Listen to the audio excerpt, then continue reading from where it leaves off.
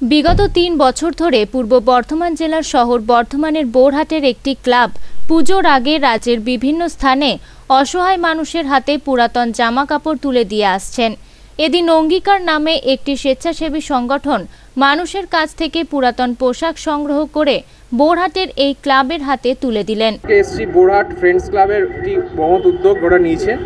কিছু পুজোর সময় কিছু দুস্থ গরিব মানুষদের জামা কাপড় দেওয়ার জন্য আমরা অঙ্গীকার সংস্থার পক্ষ থেকে সেই কাজে কিছুটা হলেও সাহায্য যাতে করতে পারি, সেই জন্য আমরা আজকে এখানে এসেছি।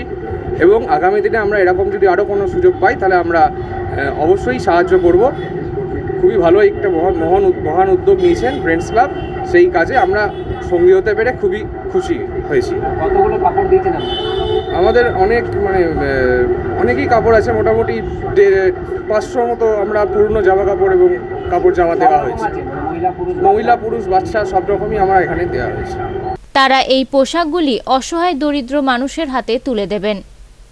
আজকে বোরাট ফ্রেন্ডস ক্লাব বিগত তিন বছর ধরে এই পুজো মানবতার পুজো এই টাইটেলকে সামনে রেখে আমরা তিন বছর ধরে জামা কাপড়, পুরনো জামা কাপড়, পরিষ্কার জামা কাপড় সংগ্রহ করে সেটা পশ্চিমবঙ্গে বিভিন্ন প্রান্তে যাদের এই জামা কাপড়গুলি দরকার তাদেরকে আমরা দিই। সেটা ফেসবুকের মাধ্যমে এবং যোগাযোগ হয়। আমাদের এখানে পিকুদা রয়েছে, অভিরূপ যশ রয়েছে এবং আরও অনেকে রয়েছেন যারা এই অঙ্গীকার সংস্থার সঙ্গে যুক্ত এবং তারাও সমাজসেবা কাজ করে। তারা আমাদের হাতে পাঁচশো, ছশো জনার মতন জামা কাপড় বাচ্চাদের বিভিন্ন রকম পোশাক আমাদের হাতে তুলে দিল বোরাট ফ্রেন্ডস ক্লাবের হাতে। কেমন লাগছে? অবশ্যই ভালো লাগছে।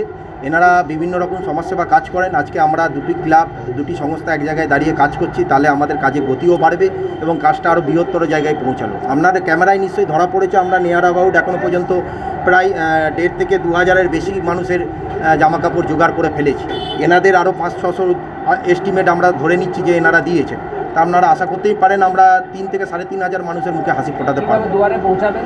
আমরা প্রত্যেকবার আমরা কিছু কিছু লোকেশন থাকে যেখানে আমরা পৌঁছাই আমরা টার্গেট নিই যে সমস্ত প্রত্যেক প্রত্যন্ত এলাকা যেখানে বিশেষ করে আদিবাসী মানুষ আছে যারা ঠিক করে হয়তো বাংলা বলতে পারে না হিন্দি বলতে পারে না শহর অঞ্চলে এসে কাজ করতে পারে না মাটি কেটে খায় সেই সমস্ত মানুষের কাছে পৌঁছে দিই বর্ধমান থেকে পিন্টু প্যাটেল ও টিঙ্কু সায়ের রিপোর্ট আনন্দ বার্তা।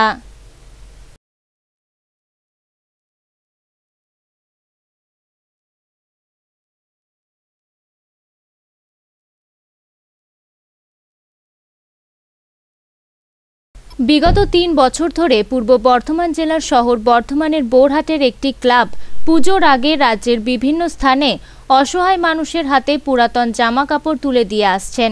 এদিন অঙ্গীকার নামে একটি স্বেচ্ছাসেবী সংগঠন মানুষের কাছ থেকে পুরাতন পোশাক সংগ্রহ করে বোরহাটের এই ক্লাবের হাতে তুলে দিলেন। এসছি বোরহাট ফ্রেন্ডস ক্লাবের একটি মহৎ উদ্যোগ ওরা নিয়েছে। কিছু পুজোর সময় কিছু দুস্থ গরিব মানুষদের জামা কাপড় দেওয়ার জন্য আমরা অঙ্গীকার সংস্থার পক্ষ থেকে সেই কাজে কিছুটা হলেও সাহায্য যাতে করতে পারি, সেই জন্য আমরা আজকে এখানে এসেছি।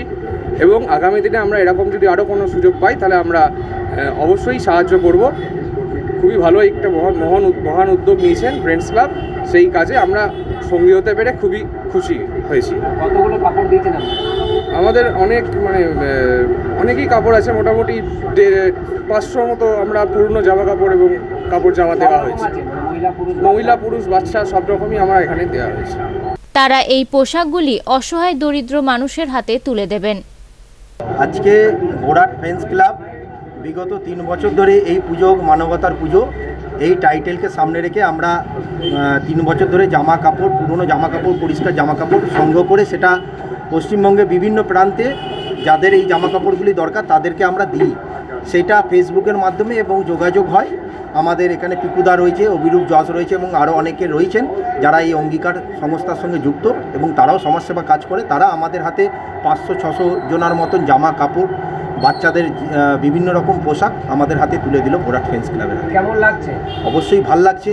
এনারা বিভিন্ন রকম সমাজসেবা কাজ করেন। আজকে আমরা দুটি ক্লাব দুটি সংস্থা এক জায়গায় দাঁড়িয়ে কাজ করছি তাহলে আমাদের কাজে গতিও বাড়বে এবং কাজটা আরও বৃহত্তর জায়গায় পৌঁছালো। আপনাদের ক্যামেরায় নিশ্চয়ই ধরা পড়েছে আমরা নিয়ার অ্যাবাউট এখনও পর্যন্ত প্রায় দেড় থেকে দু হাজারের বেশি মানুষের জামা কাপড় জোগাড় করে ফেলেছি। এনাদের আরও পাঁচ ছশো এস্টিমেট আমরা ধরে নিচ্ছি যে এনারা দিয়েছেন। আপনারা আশা করতেই পারেন আমরা তিন থেকে সাড়ে তিন হাজার মানুষের মুখে হাসি ফোটাতে পারব। দুয়ারে পৌঁছাবেন আমরা প্রত্যেকবার আমরা কিছু কিছু লোকেশন থাকে যেখানে আমরা পৌঁছাই আমরা টার্গেট নিই যে সমস্ত প্রত্যেক প্রত্যন্ত এলাকা যেখানে বিশেষ করে আদিবাসী মানুষ আছে যারা ঠিক করে হয়তো বাংলা বলতে পারে না হিন্দি বলতে পারে না শহর অঞ্চলে এসে কাজ করতে পারে না মাটি কেটে খায় সেই সমস্ত মানুষের কাছে পৌঁছে দিই।